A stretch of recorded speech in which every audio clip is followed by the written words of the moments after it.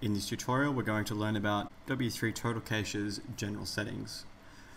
So previously we've just installed W3 Total Cache and we've just gone through this basic dashboard to explain what those options are but we haven't actually started to utilize it to uh, make our site fast. So what we're going to do now is just hop into general settings.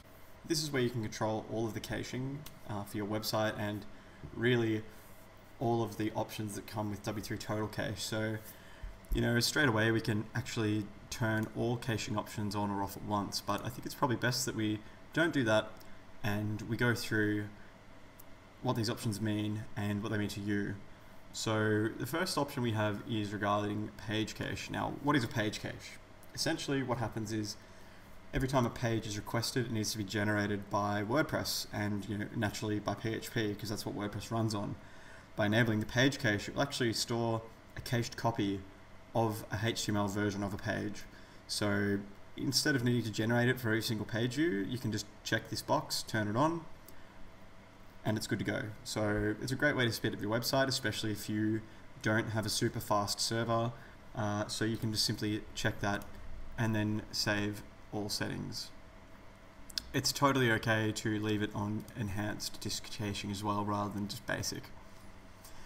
The second option we have now is to enable minification. So minification is simply removing any unneeded space in your CSS and JavaScript files. So what that is is you know anytime you see you know a space or a carriage return, so when someone's created a new line, those aren't actually required. They just make that code really easy to read for anyone who wants to read it. So we can enable minification and you know ultimately the speed gains of minification aren't large, but you know when you're tweaking your website to run faster, every little bit counts and it does all add up. So we're going to enable that now.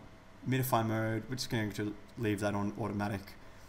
And the, the minify cache method available to us is disk at this stage because you know we're not running on any of these platforms here at the moment. But of course, you know if you're running on multiple servers, you've probably got memcached or memcached installed, and you can quite easily run on that.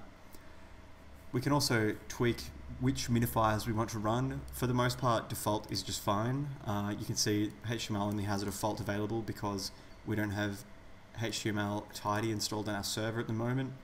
JS minifier, you know, just, just using JSMin is fine, but if you would prefer any of the other options, you can change that, you know, assuming you understand the pros and cons between them all. And again, the same applies for the CSS minifier. Once again, default's just fine, but you can change them if you'd like to. So with that in mind, we're going to save that. The next degree of caching we have available to us is database caching. So, you know, whenever a page needs to be generated, it needs to query the database in order to populate the text in the post and, you know, I find out where the images for the post are actually stored on your website. So rather than having your website actually query the database every time it needs to do that, you can enable database caching. Uh, if you're running on something like you know servers that don't have an SSD, it's very, very, very advantageous to use the database cache. But if your servers are all running on a traditional spinning hard drive, then it's not too great a concern because it still needs to be read off a hard drive in some way. So you can turn it on if you like, but if you're running an extremely busy website, then you know you would need to check how much server load is being put on your MySQL server. And again, we only have disk available to us as in terms of the caching method because you know we don't have any of these other services installed on this current server. So again, database caching is really up to you. It's ideal that you have an idea of you know your MySQL server load, and you know that should really influence your decision rather than just going and arbitrarily choosing to have it on or off but of course, you can turn it on and run it for a week and see how it goes, and then turn it off for a while, and, and then make the judgment call.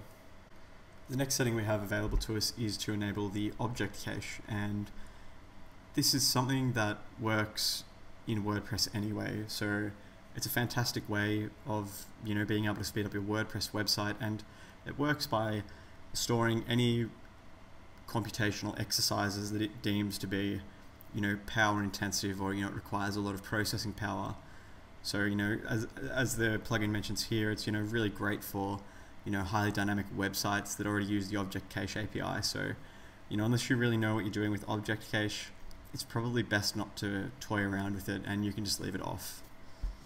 The next setting we have is for browser caching. So as it says, it reduces server load and decreases response time by using the cache available in the visitor's browser. And the, you know the real thing we have here is to be enable is to enable HTTP compression.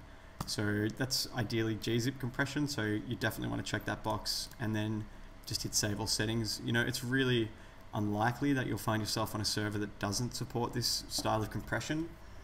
So if you would like to try it, it's definitely recommended. The next option we have here is to enable a CDN, and a CDN is a content delivery network, and the way it works is that you sign up to a CDN service, whether it's free or paid, and you input your server details into that, and what it will do is it will extract all of the static resources from your website and then distribute those static resources across their server network across the world. So if your server is based in London, for instance, and someone lives in New York, ideally speaking, there's probably a server in the content delivery network that's closer to New York than London is. So it'll load those resources for the user from the most locally available server. So you definitely can do it. It does require a little bit of setup and we're definitely going to cover that later. So you can enable this for now if you'd like. And as far as the CDN type, you can have an origin pull or an origin push. For most people, an origin pull service is definitely adequate. So we're just going to leave that like it is now. Uh, we're going to show you using MaxCDN later, so I'm going to leave it as that, but you can change that to whatever you require. Next, we can choose to enable reverse proxy. So this is a little bit more complicated than we really need to discuss for the moment.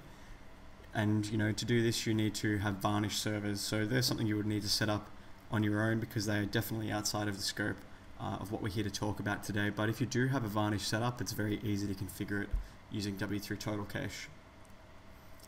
Next up, we can choose to enable Cloudflare. Cloudflare is a CDN style service that can help protect your website across you know various attacks and you know it can be very advantageous to to use it and it's free for you know the basic degrees of use so you can go to Cloudflare's website cloudflare.com and sign up and you know then putting your email and API key domain and you know configure all of these various different settings that you'd like to do. Next we can choose to enable the monitoring in here. Now we discussed New Relic earlier, it's just a really powerful tool for monitoring your website and your website speed so you can find out you know what the bottlenecks are and then you know update and change those accordingly. So if you do use New Relic you can put in all your account details here to enable it uh, now, for the most part, it won't work on shared hosting. You will probably need to have some sort of cloud hosting service, you know, such as Amazon's uh, Amazon Web Services, uh, or you might you may even need to run a VPS with a regular web host. Towards the end of the settings here, we can enter our license key. Now that's only if you've actually bought the paid version of W3 Total Cache. So we haven't. We're just going to continue on from here.